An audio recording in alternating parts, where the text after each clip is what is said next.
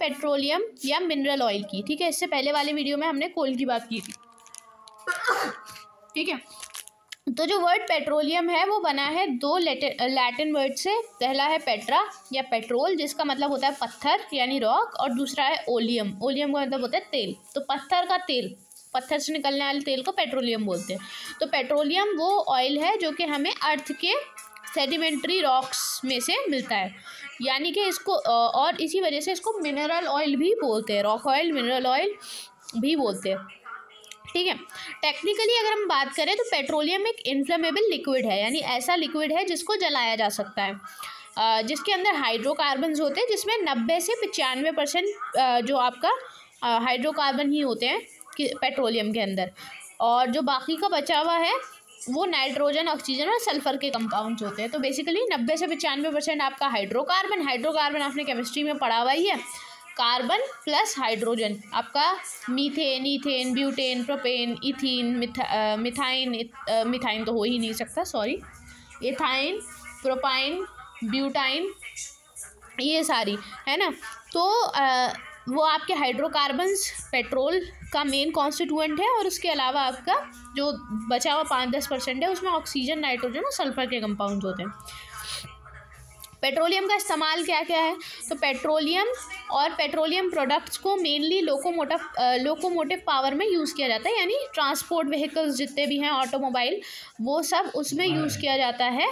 Petrol को। जैसे आप देख लो, आपकी बाइक में पेट्रोल डालते हो, डीजल डालते हो, आप कार में, ट्रक में, है ना? और और भी चीज़ों में आपको पेट्रोल, डीजल वगैरह की ज़रूरत पड़ती है। और पेट्रोल और डीजल जो है या कोई और सा जो ऑयल है, वो ज़्यादातर कहाँ से हमें मिलता है? पेट्रोलियम से मिलता है।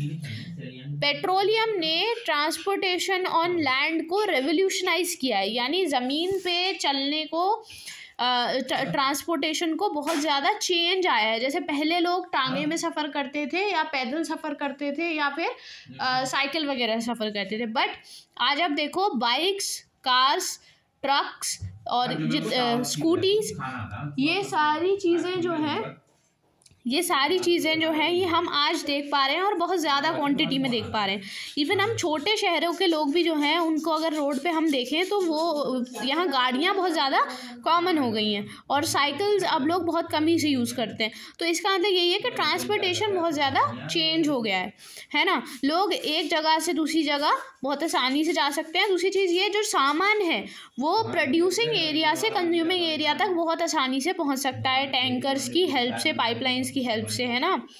और बहुत लिटिल बहुत कम स्मोक छोड़ता है ये ठीक है? बहुत कम धुआँ छोड़ता है पेट्रोलियम और इससे कोई ऐश भी नहीं बचती कोई इससे राख नहीं बचती और इसको इसकी लास्ट ड्रॉप तक यानी आखिरी बूंद तक यूज़ किया जा सकता है।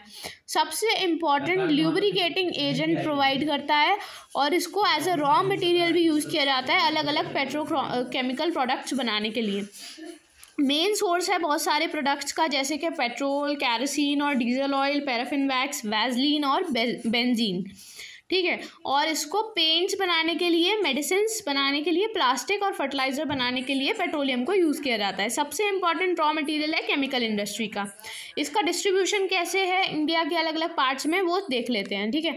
तो ऑयल जो है वो सबसे पहले डिस्कवर किया गया इंडिया में माकूम में नॉर्थ ईस्ट पार्ट में असम के एटीन में। इम्पॉर्टेंस के ऑर्डर में अगर हम बात करें तो मेन एरियाज़ जो हैं पेट्रोलियम के या मिनरल ऑयल के डिपॉजिट्स के वो दे रखे हैं।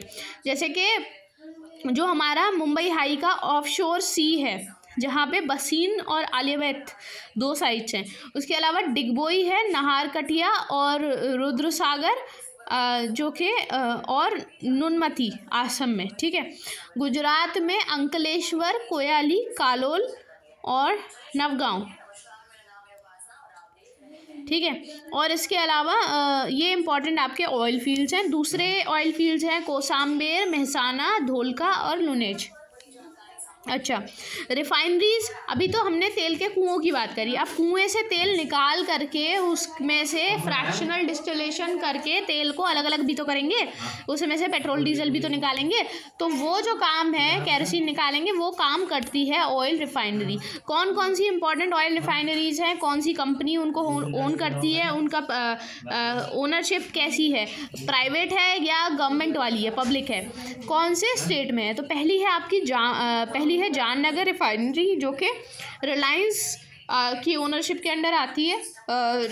रिलायंस इंडस्ट्रीज़ लिमिटेड और आपकी इसकी ओनरशिप प्राइवेट है गुजरात स्टेट में लोकेटेड है। दूसरी है Nayara energy refinery Nayara energy refinery जो कि नायरा एनर्जी लिमिटेड के अंडर में आती है जिसकी ओनरशिप प्राइवेट है जो कि गुजरात की एक कंपनी है।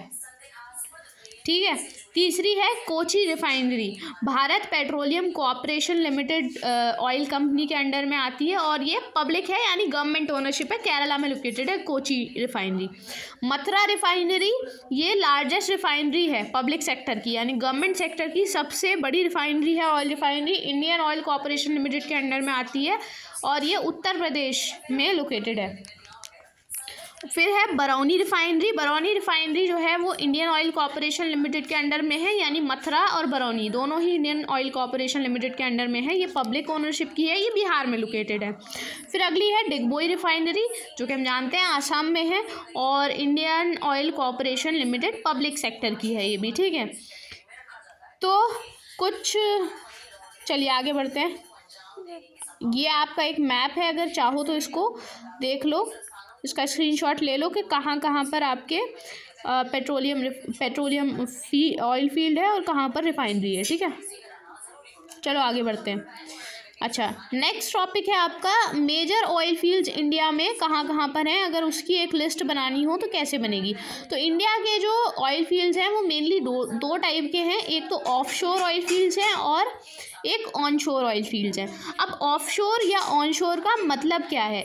तो देखिए ऑफ़ शोर होने का मतलब ये है, वो रिफाइनरी जो कि समंदर के किनारे के दूर मतलब एक तो आपका किनारे के अंदर है तो ऑन शोर हो गई।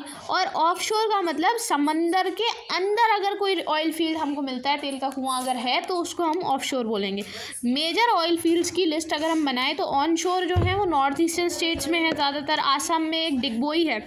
डिगबोई सबसे पुरानी है, ये बहुत इंपॉर्टेंट पॉइंट है। एटीन में डिगबोई सबसे पुरानी ऑयल फ़ील्ड है नहार कटिया मरान, रुद्रसागर, गाले की हगरीजन, अंगुई, लखवा फील्ड्स, बप्पा बप्पा पंग बप्पा पंग और हंसा पंग और Mosimpur.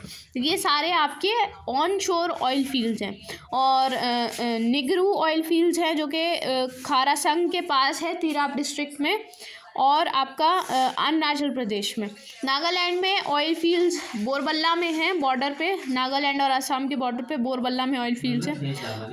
Onshore oil field western India में वेस्टर्न इंडिया में कौन कौन से हैं? ऑन शोर तो गुजरात के अंदर जो इम्पोर्टेंट ऑयल फील्ड्स हैं, वो अंकलेश्वर में हैं, जो कि सबसे बड़ा ऑयल फ़ील्ड है खामबट बेसिन का।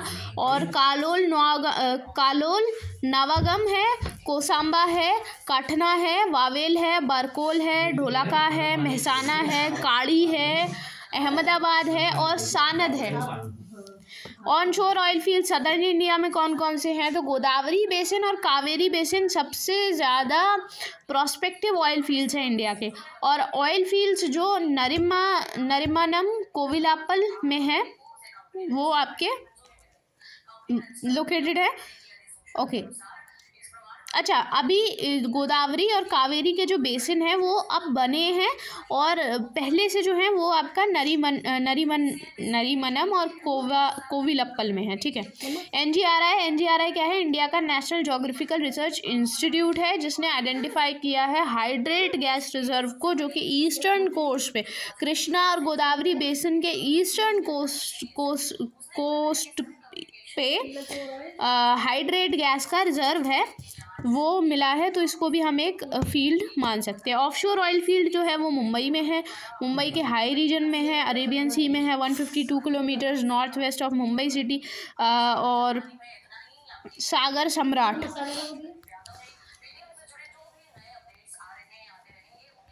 अच्छा अच्छा ये यहाँ पर आ जाओ आपका। ऑयल माइनिंग स्टेट्स कौन कौन से हैं? कहाँ कहाँ से तेल निकाला जा रहा है? तो पेट्रोलियम निकलने वाले जो स्टेट्स हैं इंडिया के वो आ, उनको उनके एनुअल प्रोडक्शन में अगर हम ऑर्डर के हिसाब से अरेंज करें कि एनुअल प्रोडक्शन सबसे ज़्यादा किसका है उससे कम किसका है उससे कम किसका है तो कैसे अरेंज करेंगे? महाराष्ट्र मुंबई हाई फिर गुजरात फिर आसम फिर तमिलनाडु फिर अरुणाचल प्रदेश ठीक है? फिर अच्छा बॉम्बे हाई, जो कि एक ऑफशोर ऑयल फ़ील्ड है तो ओएनजीसी ने ऑयल को कंटिनेंटल शेल्फ एरिया पे महाराष्ट्र के कोस्ट पे महाराष्ट्र के कोस्ट से एक सौ छिहत्तर किलोमीटर नॉर्थ वेस्ट 1974 में, ये इन्होंने डिस्कवर किया। जो स्ट्रक्चर था, उसमें मुंबई हाई के अंदर और बसीन बेसिन के अंदर जो हमको जो ऐसी जो जगह मिलती है जहाँ पर तेल पाया गया, उसको सागर सम्राट बोलते हैं।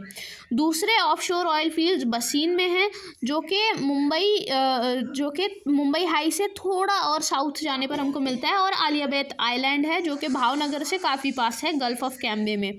दूसरा स्ट्रक्चर जिसको हीरा नाम दिया गया, वो भी एक ऑपरेशन मतलब अभी काम चल रहा है उस पर और जो रीजन है, वो आज का एक तिहाई क्रूड ऑयल आउटपुट देता है इंडिया का। ठीक है? क्रूड ऑयल क्या है? क्रूड ऑयल पेट्रोलियम ही है और कुछ नहीं है। और इसको त्रॉम्बे त्रॉम्बे की रिफाइनरी में इस तेल को रिफाइन ज़्यादातर किया जाता है। दूसरे ऑयल फील्ड्स कौन कौन से हैं? तो इन एरियाज़ के अलावा ऑयल हमको कावेरी, कृष्णा, गोदावरी बेसिन में भी मिलता है। ऑयल की जो पॉसिबिलिटी है, वो कोरोमंडल कॉन्टिनेंटल शेल्फ एरिया पे भी हमें ऐसा अंदाज़ा लगा है कि हो सकता है वहाँ पर भी कोरोमंडल कॉन्टिनेंटल शेल्फ एरिया पे भी ऑयल फील्ड्स मिल जाएँ। इसके अलावा बंगाल का जो सुंदरबन इलाका है, जो आपका सुंदरबन डेल्टा है, शेर डेल्टा है सॉरी सुंदरबन डेल्टा है शेर एरिया का और जो गल्फ ऑफ़ कैम्बे का रीजन है वहाँ पर ऑयल फील्ड्स होने की संभावना है। जो सबसे ज़्यादा इम्पोर्टेंट रिफाइनरी है ऑयल रिफाइनरी है उस वो आपकी आ, मतलब मथुरा वाली हो गई और आपकी गुजरात वाली हो गई। और आसम वाली हो गई। उसके अलावा कुछ कोचिन, चेन्नई, विशाखापट्टनम, हल्दिया और बरौनी में भी कुछ ऑयल रिफाइनरीज हैं, ठीक है? ये रिलायंस की जामनगर ऑयल रिफाइनरी का फोटोग्राफ है, ठीक है? जो कि एक प्राइवेट ओनरशिप की रिफाइनरी है। जामनगर रिफाइनरी दुनिया की सबसे बड़ी private sector crude oil refinery है, ठीक है? जो रिफाइनरी कॉम्प्लेक्स है, वो आपका जामनगर में है, गुजरात में। इंडिया में और इसको रिलायंस इंडस्ट्रीज़ चलाती है। पेट्रोलियम के एडवांटेजेस क्या क्या हैं? ठीक है। पेट्रोलियम का क्या फ़ायदा है? तो पेट्रोलियम एक फॉसिल फ्यूल है। फॉसिल फ्यूल का मतलब बहुत साल पहले जो चीज़ें मर गई थी, ज़मीन के अंदर दब गई थी, फिर उनका जो है वो एनारोबिक डिकम्पोजिशन होता गया और उनसे तेल निकलता गया और उस तेल से हमको पेट्रोलियम मिलता है। ठीक है तो फॉसिल फ्यूल है और ये पोरस रॉक्स में एक्यूमलेट करता है। पोरस मतलब ऐसी रॉक्स जिनके बीच में पैसेज पॉसिबल है, जिनके अंदर बहुत बारीक बारीक पोर्स होते हैं। तो ऐसी रॉक्स में पाया जाता है, ज़्यादातर ये प्लांट्स एनिमल्स और दूसरे ऑर्गेनिजम्स के फॉसिल से बनता है, जो कि मिलियंस ऑफ़ ईयर ईयर्स लाखों साल पहले जो लोग रहे जो चीज़ें रही होंगी, उनके डेड बॉडीज से तेल ये बनता है पेट्रोलियम कुछ एडवांटेज कुछ एडवांटेजेस क्या हैं पेट्रोलियम के, उनकी बात कर लेते हैं। पहला एडवांटेज ये है कि इसको बहुत आसानी से एक्सट्रैक्ट किया जा सकता है। मॉडर्न टेक्नोलॉजी जो है तेल निकालने की ओशन सरफेस में से, या स्पेशल क्लाइमेटिक कंडीशन की स्पेशल क्लाइमेटिक कंडीशन की हेल्प से बहुत आसानी से तेल जो है वो निकाला जा सकता है। इसकी डेंसिटी बहुत ज़्यादा होती है तो एवरेज एक किलो अगर आप लें जले हुए तेल का तो उसमें से आप दस हज़ार किलो कैलोरी निकलती है एनर्जी। इसका मतलब ये है कि सिर्फ़ एक छोटा सा अमाउंट पेट्रोलियम का काफ़ी एनर्जी जो है वो जनरेट कर सकता है। दस हज़ार किलो कैलोरी है। इन दस हज़ार के बाद एक तीन ज़ीरो और लगाओ, उतना कैलोरी। इसको आप लो कॉस्ट पे एक्सट्रैक्ट कर सकते हैं। पैसा ज़्यादा खर्च नहीं होता है। पेट्रोलियम प्रोडक्ट के अंदर कम टेक्निकल और फ़िज़िकल एफर्ट चाहिए होता है। तो इसकी वजह से ये लो कॉस्ट पे भी एक्सट्रैक्ट किया जा सकता है और ये कम पैसों में बिकता है as compare to the other source of energy और ईजिली इसको ट्रांसपोर्ट भी किया जा सकता है क्योंकि ये ज़्यादातर लिक्विड फॉर्म में होता है। डिसएडवांटेज क्या है भैया? नुकसान क्या है इसका? तो ऑयल नेचुरल फॉसिल फ्यूल है वैसे तो पेट्रोलियम आपका नेचुरल फॉसिल फ्यूल है, लेकिन इसके जो रिसोर्सेज हैं वो अब काफ़ी लिमिटेड है। लेकिन इसकी जो डिमांड है मॉडर्न वर्ल्ड में इसकी जो डिमांड है, क्योंकि हर बंदे को अब आदत पड़ गई है बाइक पर ट्रैवल करने की और इंडस्ट्रीज़ भी काफ़ी ज़्यादा इस पर डिपेंड करने लगी हैं केमिकल इंडस्ट्री डिपेंड करी। तो इसकी डिमांड बहुत ज़्यादा है और सप्लाई लिमिटेड है। भाई, एक हद तक ही आप इसको यूज़ कर सकते हो। तो इसके अलावा आप उसको यूज़ नहीं कर सकते, एक लिमिट है उसकी। तो इसकी जो डिमांड की बढ़ने की वजह से जो कन्वेंशनल सोर्सेज हैं ऑयल रिज़र्व के, वो काफ़ी स्ट्रेस्ड आउट हो गए यानी वो हैं कम और उनको ज़्यादा डिमांड को मीटअप करना पड़ा है, जिसकी वजह से वो जल्दी एग्जॉस्ट हो सकते हैं। इन्वायरमेंटल पोल्यूशन का सीन क्या है? तो भैया एक्सट्रैक्ट करने में और जलाने में, तेल को निकालने में और तेल को जलाने में ग्रीन हाउस गैसेज जनरेट होती हैं। जैसे कि सी ओ टू सी ओ आपका C H three C O three minus ये सारी चीज़ें कार्बोनेट और आपका सल्फेट वगैरह, सल्फ़र डाइऑक्साइड वगैरह। तो इससे क्या होता है इन्वायरमेंटल पोल्यूशन होता है और अल्टीमेटली आपकी ग्लोबल वार्मिंग होती है, जिसकी बात मैंने कोल्ड वाली वीडियो में करी थी, उसको देख लेना, ठीक है? और ये एक नॉन रिन्यूएबल फॉर्म है एनर्जी का। पेट्रोलियम एक नॉन रिन्यूएबल फॉर्म है एनर्जी रिसोर्स का। एक बार आपने जला लिया इलेक्ट्रिसिटी प्रोड्यूस करने के लिए तो आप इसको रिप्लेस नहीं कर सकते। फॉसिल फ्यूल का जो डिप्लीशन है, उससे लिमिटेड सप्लाई यानी धीरे धीरे जो फॉसिल फ्यूल्स कम होते जा रहे हैं, उससे हमारी पेट्रोलियम की सप्लाई भी कम होती जा रही है, जिससे प्राइसेस बढ़ते जा रहे हैं, जिसकी वजह से नेशंस के बीच में कॉन्फ्लिक्ट होने का चांस भी है। समझ रहे हैं आप? यानी दो नेशंस के बीच में झगड़ा, लड़ाई भी हो सकती है। तो ये हमें बहुत ज़रूरी है हमारे लिए कि हम कोई ना कोई ऑल्टरनेटिव एनर्जी रिसोर्स के बारे में बात करें, कुछ एनर्जी रिसोर्स को ढूंढें, ताकि ये मुद्दा हल किया जा सके और ये वजह ना बने किन्हीं दो नेशंस के बीच में लड़ाई की, ठीक है? This is all for this video in the next video will talk about natural